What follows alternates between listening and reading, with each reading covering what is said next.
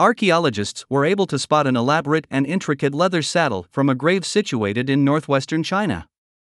This unique finding may possibly be the oldest leather saddle that has ever been found.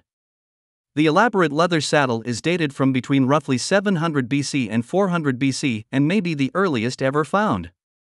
The saddle, preserved for up to 2,700 years in the arid desert, was discovered in the tomb of a woman at a cemetery in Yanghai, in the Turpan Basin of China's Xinjiang Uyghur Autonomous Region.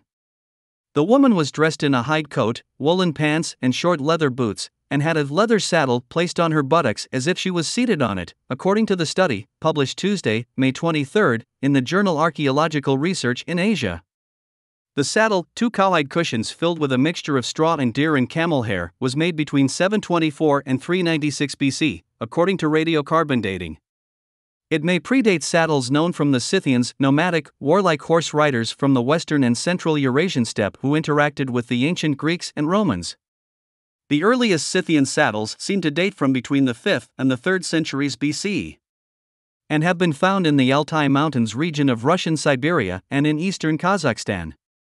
This places the Yanghai saddle at the beginning of the history of saddle making, study lead author Patrick Wertmann, an archaeologist at the University of Zurich, told Live Science.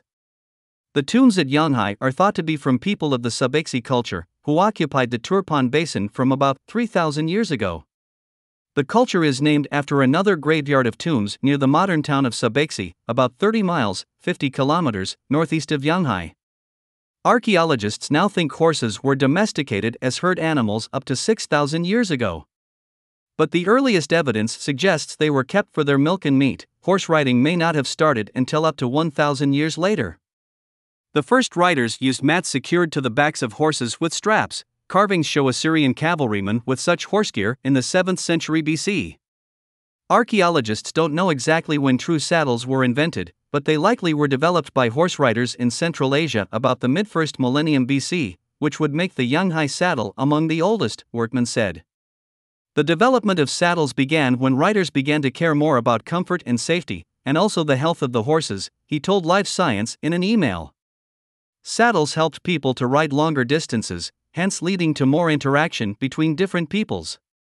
The early Scythian saddles and the Yanghai saddle both have distinct supports, which help riders maintain a firm position and raise themselves in the saddle, such as when shooting an arrow.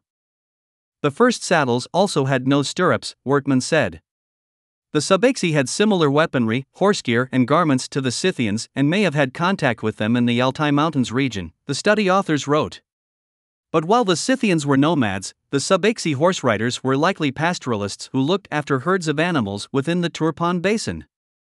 University of Zurich biomolecular archaeologist Shevan Wilkin, who was not involved in the study, told Live Science that the extraordinary level of preservation of the Yanghai saddle suggests other, potentially older saddles, may be found nearby. Usually, for something organic that's this old, like leather, then we wouldn't have any remnants of it, or very little, she said. The seated position of the buried woman on the saddle suggests she was a rider. This really shifts our ideas about who was riding horses, Wilkins said. Birgit Buehler, an archaeologist at the University of Vienna, who also wasn't involved with the study, told Live Science in an email that the discovery in an ordinary tomb is strong evidence for women participating in the day to day activities of mounted pastoralists, which included herding and traveling.